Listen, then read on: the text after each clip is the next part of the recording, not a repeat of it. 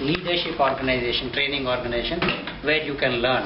So by the time I had almost 17 years of corporate experience, one seven, working for the best of the companies in the country, Reliance Industries, Bharat Petroleum, putting up the first facility for Reliance in petroleum, retailing, all that. My ego was huge, like that young man. So I said, no, no, nothing doing. I am already a very good communicator. I, I ignored Toastmasters for two years. and finally I joined in 2007. That's about five years now. And to tell the rest of the story, what is Toastmasters International? Started in 1924. That's almost 100 years now, in the next 12 years. Worldwide in 117 countries, including China, Japan, Singapore, wherever you can imagine. 13,000 13,000 plus clubs and growing by the day. There will be one more very soon in NSM, probably within the next one week. Corporate clubs like you, 6,380.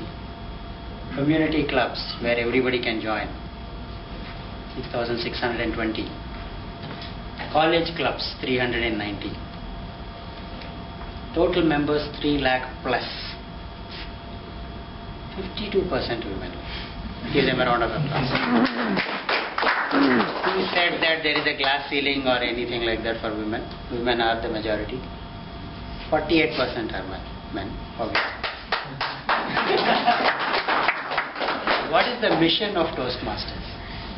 Leading movement devoted to making effective oral communication a worldwide reality. The basis is oral communication, effective oral communication.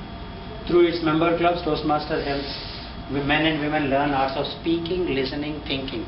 Three things that we learn. People think that in Toastmasters we only learn to speak. No.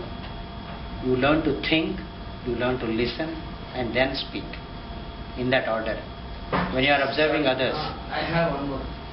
We can learn writing skills because after I started in Toastmaster only, I learned a lot of things to write. Right. So this also we can add. if you want. Thinking, yeah, you can add a lot.